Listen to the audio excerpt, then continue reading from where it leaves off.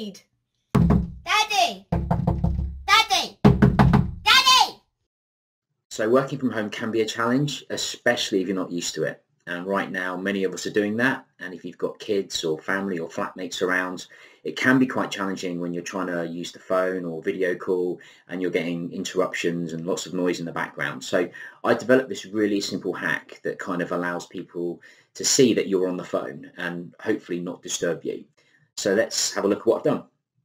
So this is the base of my project. It's based on the Arduino guide to uh, getting started and there's one project in there called Space Interceptor and this is it here and basically what it does is the green light is always on and then when you press the button the red lights will flash so that basically says I'm on the phone and when the switch is released it goes back to I'm available So I've been looking through my box of bits and I found these uh, these bigger LEDs. So what I'm going to do is put two or three of those together and I've also got uh, some plastic cups of some toy I think my kids had. Um, I've got a couple of those. I've got a clear one and I've got a red one. So I think what I'll do is I'll have a bunch of LEDs underneath the clear one uh, for green and then same for the red. I'll put a bunch of reds underneath there and I'll put them, I guess, side by side, um, mount them on something and then I'll create some kind of switch as well. So that'll be my next thing to look at.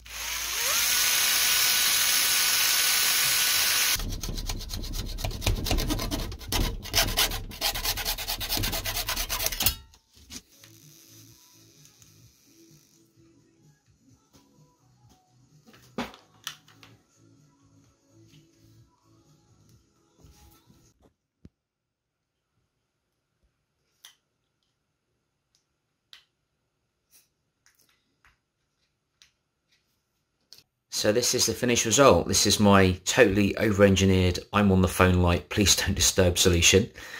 And uh, let's show you how it works. So currently Kermit is sitting on the green position. So you can see here, the other side of the door, the light is green. That means you can come in.